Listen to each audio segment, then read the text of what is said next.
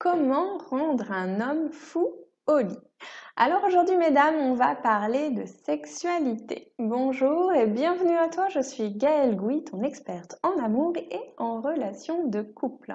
J'aide les femmes à sublimer leur vie amoureuse pour le meilleur et pour toujours. Aujourd'hui, je vais t'expliquer ce qu'il faut faire pour rendre un homme fou au lit. Et si tu veux recevoir mes conseils quotidiens en vidéo, n'oublie pas de t'abonner si ce n'est pas déjà fait. Pour ça, c'est simple, clique dès maintenant sur le cœur dans l'angle en bas de la vidéo ou sur le bouton rouge juste en dessous. Je t'offre également la possibilité de télécharger mon e-book Mes 10 astuces pour devenir la femme de sa vie. Tu y trouveras mes pépites pour rendre monsieur accro. Il te suffit de cliquer sur le lien en description de la vidéo pour le télécharger et le recevoir gratuitement. Aujourd'hui, on va parler sexualité et ce point-là est vraiment primordial pour qu'une relation fonctionne. Pour moi, le sexe est bien plus qu'une simple relation physique entre deux partenaires.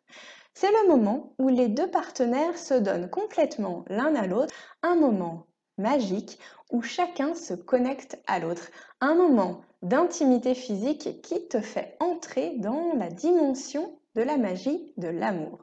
Bien sûr, le sexe peut également être mécanique, purement et simplement, et tu pourras atteindre l'orgasme ou faire jouer monsieur de cette manière également. Mais faire l'amour avec un homme que tu aimes et qui t'aime en retour prend une toute autre dimension. Voyons maintenant ce que tu peux faire pour rendre ce moment d'intimité inoubliable. Dans un premier temps, il est important de mettre les sens en éveil pour créer une atmosphère propice et faire monter le désir. Ça pourrait être une lumière chaude tamisée ou des bougies. Tu peux aussi utiliser de la musique, l'huile de massage bien entendu, de la lingerie fine, les hommes sont toujours très visuels. Bref, tout est permis. Il faudra mettre en éveil les cinq sens. La priorité pour toi va être d'être à l'aise avec ton corps. Plus tu auras confiance en toi en étant persuadé que tu es sexy, que tu es attirante, et plus il aura envie de toi. Plus tu seras à l'aise, confiante, et plus tu sauras d'ailleurs oser et prendre le contrôle de temps en temps. Ce que d'ailleurs beaucoup d'hommes adorent. Pour faire de ce moment un moment inoubliable, il faudra aussi que tu apprennes à prendre ton temps. Donc, ne va pas trop vite à l'essentiel. Comme dans tous les autres conseils que je peux te donner en relation amoureuse, il faudra chercher à susciter le manque, ce qui fera d'autant plus monter le désir. Prenons un simple exemple. Tu pourras prendre le temps de l'embrasser sur le corps tranquillement en t'approchant de plus en plus de son sexe sans pour autant y aller directement. Tu peux même t'éloigner, puis revenir. Plus tu le feras patienter et plus son désir augmentera. Donc rien ne sert de chercher la performance. L'important, c'est surtout d'être à l'écoute de l'autre, de ses sensations et d'avoir une relation équilibrée, que chacun sache donner à l'autre autant que de recevoir. Il est également important d'éviter la monotonie. Pour ça, il suffit d'ajouter quelques paroles glissées à l'oreille cette fois-ci, ou changer de position de temps en temps, ou lui faire un massage une autre fois, ou bien faire l'amour en musique.